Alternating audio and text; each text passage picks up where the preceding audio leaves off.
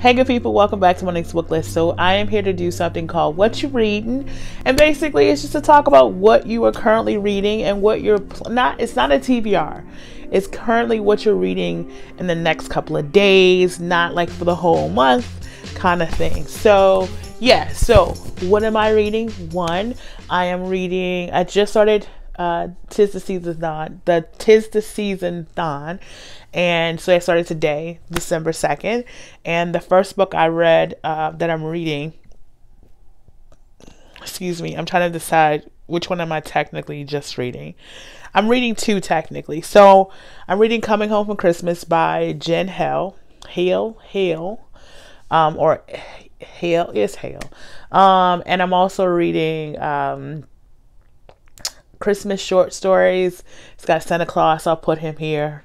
Um, and right now, the Christmas Santa Claus, Santa Claus short story or the Love Christmas, the Christmas short stories right here is shit. It is it is awful. Luckily, it's only a three and a half hour listen. I'll have that done in probably before I drop my kid off tomorrow at school. So yeah, that's I'm lucky in that. Um, I am also reading some physical books. I am technically reading three comic books right now and I'll just grab the one off of this shelf that currently is the most popular one. I'm kind of I'm I'm in there. So I'm reading The Watchmen. I'm reading The Watchmen because I'm watching the Watchmen uh, TV series that's kind of based off this and not the movie that was uh, that was uh, released a couple years ago. Also reading this graphic novel I don't know much about it. I know it came out a couple, uh, maybe a few years ago. I got mo- okay. So I, my husband owns this one, so that's why I'm reading that one. Um, and then everything else that I'm showing you today that I'm reading, I have technically uh, checked out from my local library. So I got this one, and I guess this is supposed to be a retelling of of Aquaman's wife story. Um, this is not. This is. I at first I thought this was a retelling of The Little Mermaid and today, but it's not. I don't know much about it. I'm only maybe four pages technically in, and it's about. So far, it's kind of like a young person who's an activist about being I don't know I don't know much about it. I'm not really heavy into it yet. If you can tell, I can't even give you a description of it. So I'm hoping to get that done before next weekend. And then I picked this one up. This is the the I guess this is technically um I guess you could say this is a comic book. It's not really a graphic novel and it's the series The Sister of the Black Panther. So I wanted to read her story and this this photo. Get into it, girl. Look at that. G- give me one more time. Girl. Whew. Get out of here with your bad ass. Anyway, so then everything else I'm reading is something to do with either cooking or decorating. So just to show you a few of the books, cooking books that I'm reading, I'm reading this wonderful cooking book or cookbook, not cooking book, cookbook, Cooking at Home with Bridget and Ju- Julie. Julia. Now, the reason why I picked this one up is because uh, my best friend Cal, he watches, well, he started watching a TV so, show on PBS called um, America's Test, Test Kitchen. And this show, they test everything, like all kitchen you, pl- uh, uh, you um, appliances, utensils, um, everything from like the best hand towels, which they say Williams Sonoma have the best hand towels, even though they're a little pricey. They say that you can use them as oven mittens. I trust them because even when they're sponsored by a product or by an appliance or something like that, they will say, even though they're sponsoring us, this this thing is shit. Like they will tell you the truth. But anyway, these two ladies are two chefs who do the testing. They don't just test uh, appliances, like they will test recipes. They will tell you the best way to do the recipe. They will tell you why it works. They will give you the science and also just like the kind of history on it. Well, these two ladies are chefs on that show. Um, and I, I own America's Best, yeah, America's Test Kitchen cookbook. Um, all 19, or I think it's like 10 seasons. So it's like from their first season up to 2019. Um, and then I had heard that they had a spin-off cookbook. And so I didn't want to buy it because I felt like you can have too many cookbooks. So I just got this from the local library and I haven't had a chance to really sit down and look at it. But if it's anything like the America's Test, Test Kitchen, I'm going to love it. So, in the same vein, I have Cooking with Miss Quad. Um, now, if you don't know who Miss Quad is, that's because you have a life and you don't watch reality TV like I do when I'm not reading. I'm watching either sport, either History Channel. Yeah, it goes in this. It goes in this something reality TV, sport, history, and now The Watchmen. anyway, so Miss Quad is actually from a TV show called Mar- Married to Medicine off of Bravo. And on the show, she talks about how good she she's always talked about how much she loves to cook and how she wanted to put together a cookbook and she did. Well, I didn't want to pay for Miss Quad's cookbook unless I thought I was going to like it. So I went to my local library and I I checked it out. Now, far as the pricing on it, it's a pretty decent price for a cookbook. This is it's thirty dollars US, um, and this one is let's see. Oh, this is I feel like now see I feel like this is more pricey. This is 35 US. Um so in the same vein, we also picked up William Sonoma's Everyday Slow Cooking. Now, I have bookmarkers, yes, that is paper towel, because I am going to copy these out of here and put these into my cookbook, the recipes that I found that I think I'm to like. Um, and slow cooking is a very good thing to do if you are a busy person for several reasons. If you like to slow cook on a Sunday and then freeze all your meals, or freeze it for like later, or or just for the week, you can do that. Or if you um, just like to slow cook, so when you come home, you'll have a good a good meal. You can do that. I like the thing that I like about this is that they do a lot of like around the world kind of recipes. So the ones that I'm most interested in, and anything anybody who knows me will know this, tell you this about me. I a lot of lot I like a lot of Americanized Asian cuisine, and I, and I will say Americanized because I had a um, a cookbook.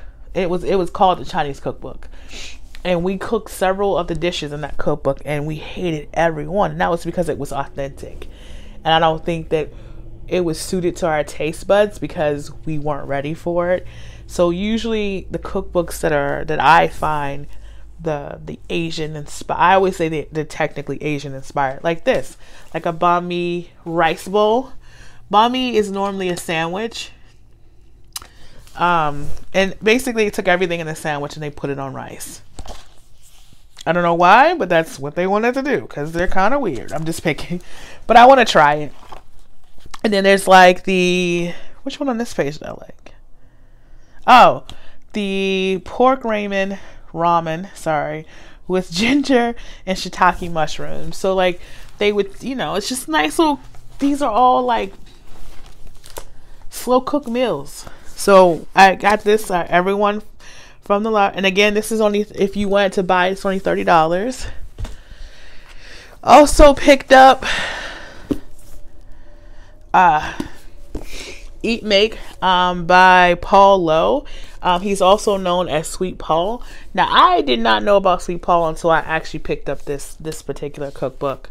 Um, and technically, it's not just a cookbook; it's an eat and make thing. So he has recipes in here, but then he also has like um, nice little craft projects. And the thing about Sweet Paul is Paul is technically not technically he is he's from he's from Norway. So keep that in mind when you're looking at his recipes because they may seem a little odd to you. Um, but they have some Norwegian history to them. Norwegian? Yeah, Norwegian history to them. So I, I really like this. This is a cute cookbook. Uh, price point is $30 and it looks like this is global. It does say higher. It says $30 and then it says higher in higher in Canada. That's weird. Um, but yeah, so this is cute. Um, and that's all I have to say about it. I don't know why I'm going on it.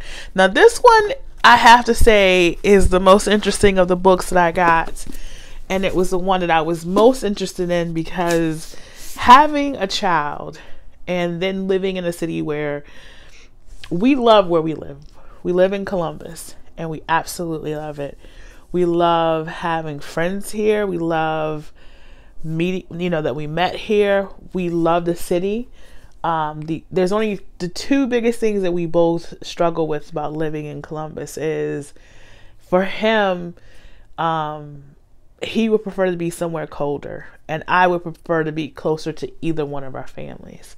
Now, my husband is actually younger than me, so most of his brothers and sisters are younger, and they are fucking amazing people. And my brothers are, I have an older brother and then I have a younger brother. And they are fucking amazing too. and um, I do have, I, I, I have two, bio- two biological brothers and then I have some adopted siblings also. Um, where was I going with all that? But we don't live close to either side of our family. Like we don't live close to my mom. He we don't live close to his family. Um, and this the saddest thing is that my our daughter doesn't have her family close closer. When I say close to, I mean I guess technically we live close to his aunt and uncle who I love to pieces. Um, but it's still quite a drive. It's three hours, so it's not like we can go there on. I mean, I guess we could go there on the weekends. But we couldn't like go there like on a Tuesday. You know, it would be six hour driving. So to go there and come back, so that's the only thing. And also, technically, we don't really have. I mean, we do have a babysitter, but we technically, I mean, we we have to pay, you know. So, and I don't know. So I said all that to say that we try to make date night at home a lot. We do family date nights, but we try to do date night at home. And then I, so with that in mind, I picked up this particular cookbook. A price one is twenty seven fifty US and it's much more expensive in Canada. I don't know why that is. So in this book, it talks about the type of date. Um, it talks about why they put this cookbook together. The author um, Ashley wrote this book because she said she felt like her and her husband were becoming roommates because they basically had their children. They had very active social lives together before they their children came about came around. And then when they came it kind of slowed down. And so when you get that free time you know you're like well i'm gonna go do something for myself because i've been so focused on these kids. Girl girl get out of my head so it's the same way here. We wind up like going to our separate corners sometimes. And I like I struggle with like making sure that I spend time with and and, and, and making sure he understands how much I love him and expressing my feelings, which is not hard for me because I'm a mushy person. I'm a hell of a mushy person. And if I love you, you know I love you. You know how much I love you. I'm going to tell you every day. I'm going to tell you in the most, you know, the most many ways I can. So that happens, that happens, but I also like to show him I love him and it's kind of hard when you're always with a third person who happens to be under 3, who happens to need all of your goddamn attention. So when the kid is asleep, we try to do things together and I wanted to like get a cute little cookbook to help us like do do more things like that together. So this again it tells you like the type of date, like if it's in the morning, like if you're doing brunch together as your date, if you're doing lunch, if you're doing dinner, types of dinner. Um so yeah, it just and and, and it has everything in here from like uh what was one of the recipes? I was like, y'all got time to do that? now I say that knowing that I make sauces. Like I, I will, I will make a, I will take forty five minutes to make the perfect sauce to go on a steak. So, oh, like this one. This is a great example of what it's talking about, and I just like um how to make his birthday special. Like this fennel encrusted uh, lamb chops. Now I don't like fennel, but yeah, like that's just a cute little recipe for like a date night. It's just cute. I just think this is awesome that they put this together. Now, I'm going to be fair with you. I'm not a huge, huge fan of many of the recipes in here because some of that is just too damn expensive and some of it is just not my cup of tea. But the concept of this book is amazing. So I think I'm gonna take the forward because she read the, the all the the information I like the most was the forward that she wrote. So I think I'm gonna read that and take what I can from that. Flip through a more a few more pages and determine if there's any of the recipes that I really like in this. And if there's not, I'm just gonna return this this week to the library. And yeah, so that's that's what I'm reading. I'm reading quite a bit. 15 and 20 minutes worth of stuff. 15 and 15 minutes and 20 seconds worth of stuff. Whew, my hair is getting crazy. I'm getting crazy. I'm sleepy because I think it's almost midnight. I need to go take a shower because I got to get up in the morning. I got to take that baby to school. I got to get back here and work. Anyway, that's what's going on in my life. I hope you're having a great day. And until next time, you know what I'm about to say. Bye. And thank you for watching.